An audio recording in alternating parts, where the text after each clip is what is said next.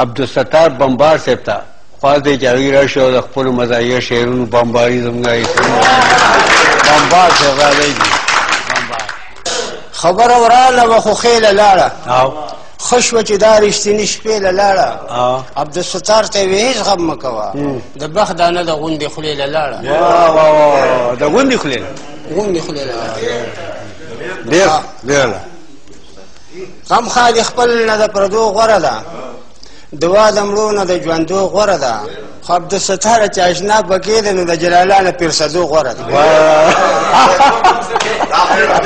عبد الستار چې آشنا پکې ده د جلالانه پیر صدو غوره یار ته به کړه بشخالي کې واړو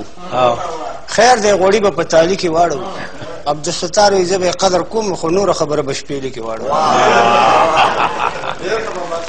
څنګه خاطرک چې په هوا د ورځې نه ګرځي دغه شي زما خپل آشنا د ورځې نه ګرځي ما یې تاسو کو کشرور راته دا وي خلک څنګه ځکه لاله د ورځې نه ګرځي چې د دوه درې آشنا شي لړکوي د دې نه چې پغلا شي لړکوي چې په نه غوندې خبره مړول شي سمدستي که بیا پخلا شي لرلوی مزه دا کوي چې پلار ته دادا وایي چې کوم ځای پلار ته دادا شي لرکوی چې په خولې کې د خیر خبره نه وي که د ټول کلي بابا شي لرکوی چې خیرې درته کوي عبدالستاره سپېره ښځه که د نیا شي لرکوی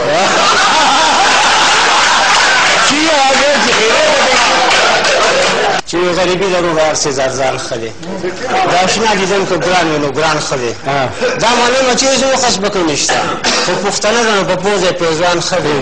نور د نن کارونه نه پرېږدم سبا ته د سړې ګټې نه ګرم تاوان ښه دی او منم ښکلي زورور دي په دنیا کې خو کله کله د غریب هم پرسان ښه دی او ببر سر سپیان لخته د یار کوسه کې لیونی د غسسری ګریوان خله به د یو پلان نشه رب د ستاره بل چې کوم څه ته ودرېږي نو ځوان خله او یو کته د بیا را وتلې غوسه کې سکه بیا را وتلې غوسه کې سکه پرې د مدرسه کې سکه ما ته وی دغه ځای کې مو ودرېږه او کور کې دا نه وي چې کوڅه کې ځکه عبدالستار بمبار صاحب خو ډېر زبردست شعرونو ته ویلو